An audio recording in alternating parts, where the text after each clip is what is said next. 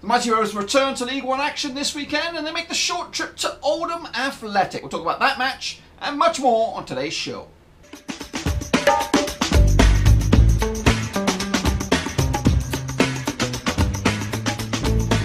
That's right, folks, back once again with another match preview. But before we get any further, I want to stop what you're doing, swallow what you're chewing, and go ahead and smash that subscribe button so I can keep you bang up to date with all things Blackburn Rovers.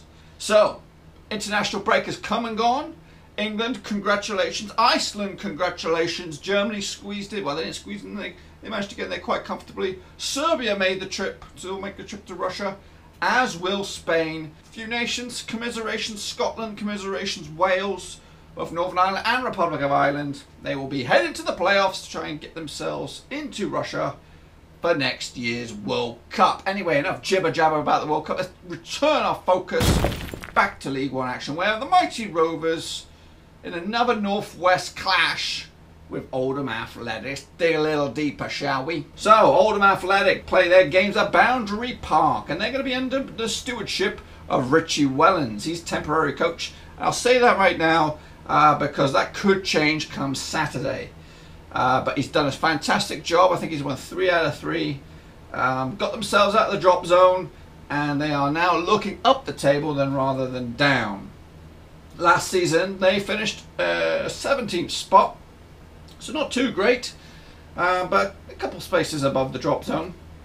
The game will kick off 3 o'clock Saturday, 14th of October, and the man we've got to keep an eye on is Eoin Doyle. Track record between the two clubs, they've played a lot of games over the years, 63 times to be exact. Blackburn coming up with 30 wins, 18 losses, and they've drawn 15 between them. However, the recent fixtures look like this. Blackburn coming into this with only one defeat in five visits to Boundary Park. Last time these two met was way back when, in the, when both of these teams were in the Premier League. December 11th, 1993. Rovers coming out on the back, 2-1 winners.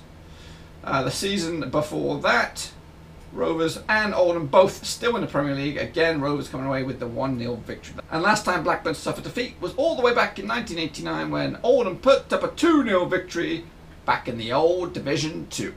Let's take a look at the starting lineups. Now, just like before on some other teams, I'm not too sure who will play, but I've got a fair idea. Here's how I think Oldham Athletic will line up. Placide in goal, Dummigan, Clarke, Bryan, Nepomuceno, Hunt, Byrne, Fane, Gardner, Doyle, and Davies. As I mentioned, you've got to keep an eye on that Doyle, six goals this season. Another familiar name Rover fans might recall is uh, Byrne in the middle of the, the midfield. Uh, he was on loan last season uh, for Rovers to zero effect. He's also on a loan spell uh, this season uh, from Wigan Athletic. And apparently the Oldham fans have taken a shine to him so uh, we, he might have reached his level of League One action. So we've got to keep a close eye on that fella. As for Rovers, last time out, Blackburn Rovers played in the Checkatrade Cup. We'll talk about that in a little bit. But none of these guys, I don't think, featured in that game. But let's take a quick rundown of the 11 I feel that will start the game against Oldham. David Raya in goal, Caddis, Downing, Mulgrew, Williams, Bradley Dack, Corry Evans, Richard Smallwood, Elliot Bennett, Dominic Samuel and Marcus Antonsson. No real surprises there. Uh, I've reverted back to the defensive uh, core of Evans and Smallwood just due to the fact that the upturn in form for Oldham and the fact that we're going to be playing at their ground. And um, uh, however, Mowbray might might opt for something completely different. He might, you know, keep Whittingham in, in the centre of midfield with Smallwood, uh, and he also might change the the front pair of Samuel and Antonsson um, but to be honest with you, I think this this side would be good enough to get a victory at uh, at Boundary Park.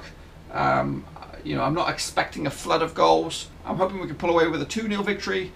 Um, and it would be a cracking afternoon if Bradley Dack would get on the score sheet one more time. And also maybe Elliot Bennett to celebrate his bumper new deal that keeps him at the club till 2020. If you didn't uh, find out about that. Um, uh, there's details of that on my Twitter and my Facebook. So let's take a look at the recent form uh, for Oldham Athletic. Like I said at the start of the show, Oldham coming on the back of a three-game unbeaten run or three-game winning run uh, heading into the Rovers match. So let's take a quick look back at those fixtures. Last time out, they picked up a 1 0 victory against Crewe Alexandra, League Two, in the Checkatrade Trophy. Before that, and a massive away victory against Portsmouth, 2 1 victors. Before that, again, another huge victory, 3 2 winners against Peterborough. You know, these are these are tough teams. You know, go go into Portsmouth, pick up three points, and picking up another three points against you know fifth, currently fifth place Peterborough. That's a massive, um, that's a massive two results right there. Before that, I don't know if this was John Sheridan's last game, but they were on the back of a 5-1 spanking against Rotherham United. And before that, they lost to Tabletop tabletopper Shrewsbury at Boundary Park. So, yeah, looking at their recent form, they also missed. Uh, they also did not play this this past weekend due to international call-ups. Um, but Rovers have got to take this game uh, very seriously. You know, the league table does give a bad indication of of uh, of teams' form. It wasn't long ago where when you looked at the table and and MK Dons were towards the foot of it. Um, same goes for Rochdale. Rochdale have dug themselves out of a hole, but Oldham have seriously dug themselves out of a hole. And, and, and the change of manager, even though Richie Wellens is only on a temporary basis, um, has done them the world of good. Two ma- there, are two huge victories, and I think they would like to pick up a scalp against Blackburn come Saturday. Let's take a look at Rovers' form. Last time out, they suffered a defeat in the pointless Checkatrade Trophy, coming off of the back of a 1 0 home defeat to Bury. Whereas in the league, last time out, Rovers on back to back home wins with a 1 0 victory against Gillingham, 2 0 victory against Rotherham. They picked up a point away from home against tabletopper Shrewsbury, and that shit stained defeat against Wimbledon, still at the bottom of the graphic right there. Let's take a look at the statistics now. As for Oldham's top scorers, like I said at the start of the show, Doyle's there with six, Davies is there with six, Burns got three goals for the season, Green has got one. As for yellows, Gardner five, Banks has got four, Gerrard's got three, Burns also got three. And if you look at this nasty statistic, three players on red cards. Doyle's got one, Wilson's got one, Fane's got one.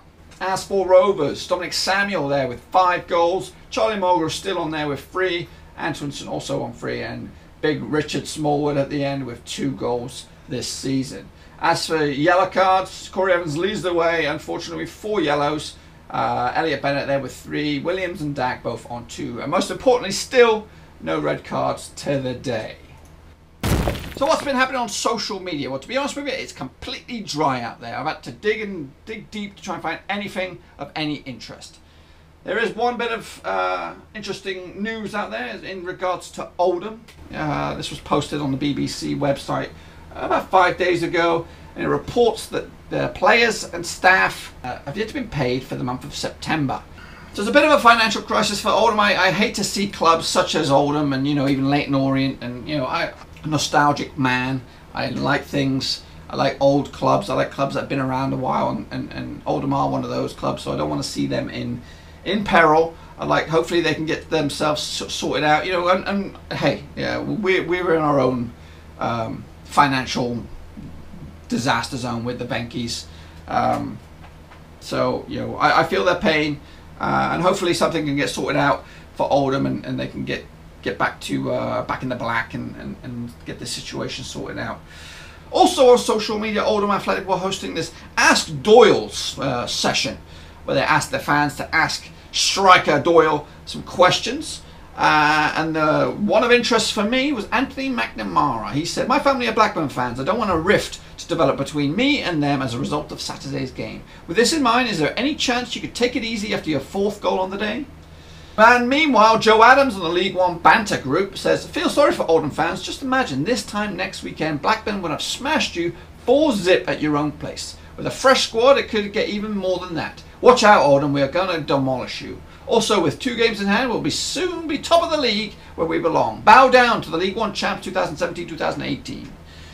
Joe, I feel your optimism, and uh, it's it's good to have, but uh, I'm going to go into this one on uh, you know a little reserved. I think it's it's it's going to be a close, a lot closer than folks will imagine. Yes, the table paints a different picture. Rovers now seventh, Oldham nineteenth, but the form book is in Oldham's hands right now. Three wins out of three under uh, new managerialship, even though it might be a, a temporary one. But uh, the momentum is with them. So if we come away with a point, I hope fans can uh, can live with that. I feel it will be a, a reasonable result. Obviously, I'd like more. I'd like the three points. It seems to me that a lot of teams that we expect to win, we end up suffering either a draw or even a defeat. Take a look at Wimbledon, take a look at Doncaster, um, even Southend to a point.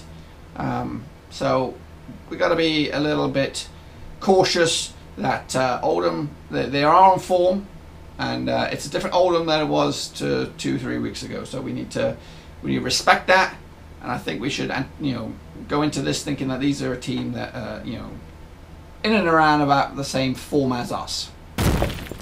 It's not what I think that will happen this weekend. It's what Cass the Cat thinks that will happen this weekend. So let's take a look what the cat thinks will happen this time out at Boundary Park between Oldham and Blackburn Rovers.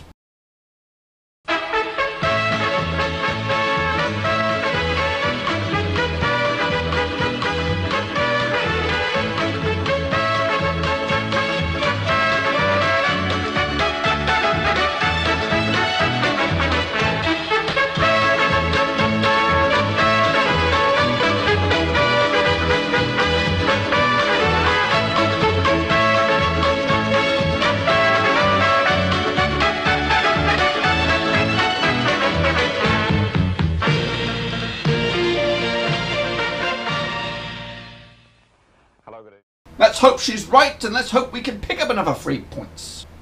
Now over the years a lot of players have played for both Oldham Athletic and Blackburn Rovers. Here are just a few. Way back when, Premier League winning Paul Warhurst played for both Oldham and he also represented the blue and white of Blackburn Rovers. More recently, last season's skipper Jason Lowe also played on loan for Oldham Athletic earlier in his career. And I'll end it, I'll end this session anyway, with this fella. Favourite local god, David Dunn. Yes, he was actually at Oldham on a player managerial basis, I believe. His first taste of football management didn't really end very, uh, very well for him. Um, but he, yes, played for both the mighty blue and white and for those fellas at Boundary Park. Now, like I said, that was just a tidbit of some of the players who have played for both. I am going to save some for the return leg at Ewood Park. But if you can't wait, head over to my website, details in the description below. I have a full list of all the players that have played for both Oldham Athletic and Blackburn Rovers. That's pretty much all I've got for you today. But if you want to chat over to my YouTube channel, you can check out my FIFA 95 hack series. We've done the Oldham game. If it's not online now, it will be online very, very soon. So might as well check that bad boy out. So I'm looking at you now, Tony Mowbray. Bring home the three points to Ewood Park and get us back in those playoff spots as we kick on towards the top of the table. Come on, Rovers! Thanks again for watching. Please like, share, and most importantly, hit that subscribe button. It'll keep you bang up to date with all things Blackburn Rovers. But if you want to check out something completely different, head over to my other YouTube channel. You do that by pressing the button right there. If you want to check me out on Twitter, Facebook, details are in the description below. So until next time, thumbs up, subscribe, ciao for now.